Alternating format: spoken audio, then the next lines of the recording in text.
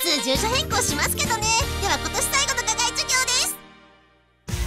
最終回へと向けて盛り上がりを見せているギャラクシーエンジェルーン先日その中間報告会が行われました。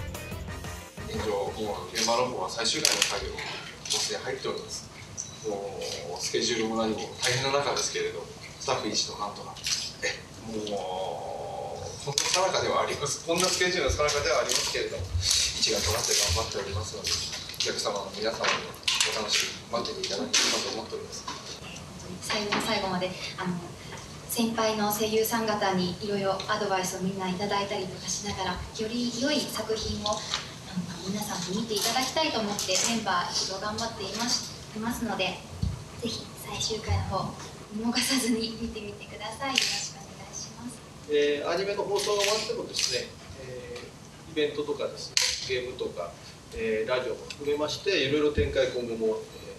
ギャラクシーエンジェルといいますかギャラクシーエンジェル2を、えーまあ、原作とした展開はどんどん続いていくというふうに、えー思っています。さらに最終回のアフレコ収録を終えたメインキャストの皆さんに最終回の見どころやこれまでを振り返っての感想などをお伺いしました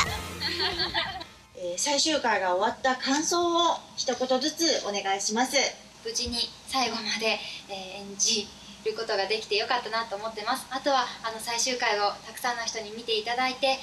ー楽しい作品だったなっていうふうに思っていただけたら嬉しいなと思っています。えっと、今までアニメの中で演じてきたアニスのもうなんか集大成じゃないです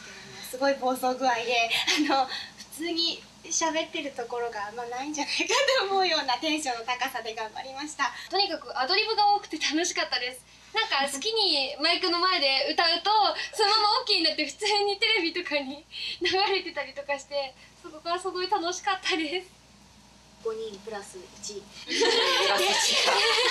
すごくあの仲良く楽しくあのやれましたんであのそれが皆さんにもオンエアの方で伝わればいいなと思っております。最終回では多分今全13話の中で一番リリーさんはちょっと壊れ気味だったかなっていう感じでそれがだんだん自分の中でも消化できてきてゲームにもね活かせたら活かせていたらいいなと思っております。5人プラス1おまけの和也白波役小田作です。えーとですねあのまずアフレコアニメのアフレコを終えてあのエンジェル隊のみんなと一緒にこの場に入れたことがやっぱりもう和也白波本当に幸せです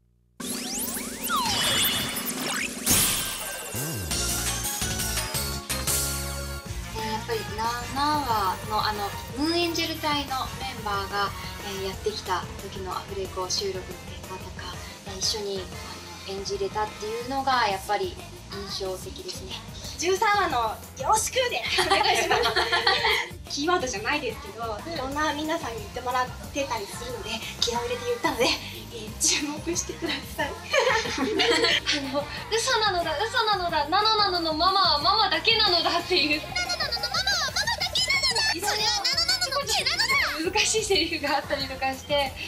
もう全体として私には大変なすごい印象に残ったエピソードで。す名探偵の推理ファイルの回がすごく。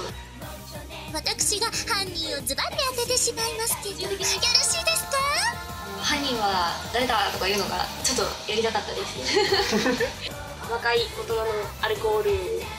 がやっぱり本当にあのね本当に最後最初から最後まで基本的に2人しか喋っていないのでだからその前日とかも一緒にリハブを見ながら練習とかもして結構だからそういう風がそういうことができるくらい仲良くなったっていうのがとりあえず嬉しいですよね。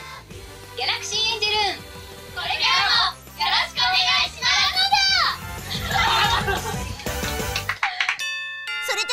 林先生とも